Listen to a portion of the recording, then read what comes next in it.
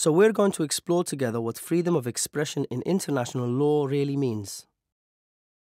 Everyone shall have the right to freedom of expression. This right shall include freedom to seek, receive, and impart information and ideas of all kinds, regardless of frontiers, through any media of their choice. The exercise of these rights carries with it special duties and responsibilities. Everyone shall have the right. Freedom of expression belongs to everyone.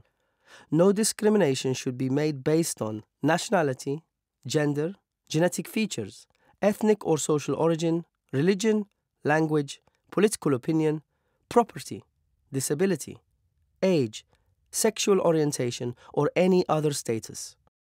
We can all seek, receive, and impart.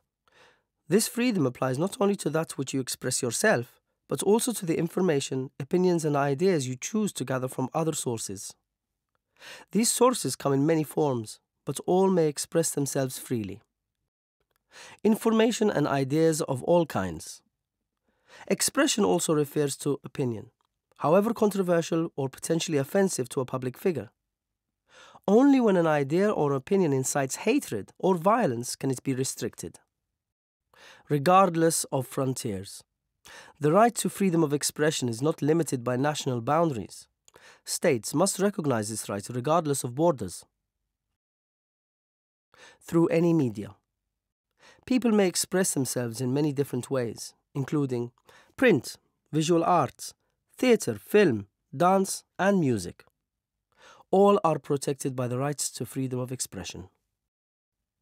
Special duties and responsibilities. Some restrictions are allowed under international law, though censorship can only be authorized in very exceptional cases, subject to a fair hearing. States must respect, protect, and fulfill the right to free expression by not interfering with it, as well as taking active steps to ensure people can enjoy this right. For example, minorities must be able to express themselves in their native tongue and participate in politics and services provided to others. The media must not be monopolized by states or private companies with vested interests.